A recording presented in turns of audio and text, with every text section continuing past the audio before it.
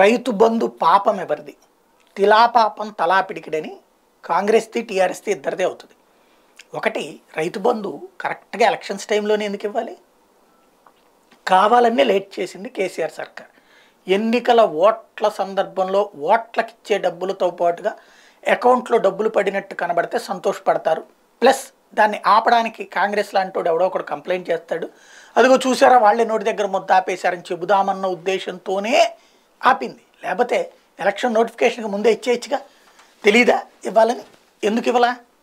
అంటే కావాలనే చేసింది. దానికి అనుగుణంగానే కాంగ్రెస్ పార్టీ రైతు బంధు డబ్బులు పడలేదు అంటూ బిగిన్ చేసింది. దానికి అనుగుణంగానే పర్మిషన్ ఇవ్వకుండా ఆపింది ఎన్నికల సంఘం. తర్వాతన రాష్ట్ర ప్రభుత్వం ఇది ఇప్పుడు కొత్తగా పెట్టిన పథకం కాదు పాత పథకమే అన్నప్పుడు ఓకే చేసింది. ఓకే చేయగానే కాంగ్రెస్ పార్టీ ఏం రైట్ చేసింది? అదిగో చూసారా? బీఆర్ఎస్ బీజేపీ ఒకటైన మేము మొదటి నుంచి చెప్తున్నాం. నాటకం ఆడుతున్నారు. ఎలక్షన్ కమిషన్ అనేది బీజేపీ చెప్పినట్టు నడుచుకుంటుంది. కాబట్టి వెంటనే పర్మిషన్ ఇచ్చేశారు చూసారా అన్నాడు. సీన్ కట్ చేస్తే హరీష్ రావు దాన్ని క్యాష్ చేసుకుంటూ మీకు మరి కాసేపట్లో రేపు పొద్దున కల్లా సౌండ్లు వినబడతాయి.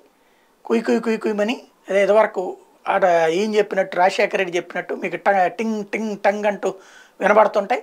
ఆ తర్వాత డబ్బులు రైతు బంధు డబ్బులు వచ్చి పడతాయి రేపు పొద్దున. అది చేసుకుని ఓట్లు మనకే వేస్తారు కదా అన్నటువంటిది అడిగారు. దాన్ని అడ్డుపెట్టి కాంగ్రెస్ పార్టీ కంప్లైంట్ పెట్టింది. దాంతో ఎన్నికల సంఘం మళ్ళీ రైతు బంధుని ఆపేయమంది మళ్ళీ వీళ్ళు అప్పీలకి వెళ్తారు. కానీ ఈలోపు అదిగో కాంగ్రెస్ మీ నోటి దగ్గర ముద్ద కొట్టేసింది. అయినా మేము ఇప్పిస్తాం అని బీఆర్ఎస్ వాళ్ళు హరీష్ రావు మాటలకి ఇదంతా పోయిందని కాంగ్రెస్ వాళ్ళు. ముందైతే రైతును అడ్డం పెట్టి నాటకాలు ఆడుతున్నారు అందరు కలిసి.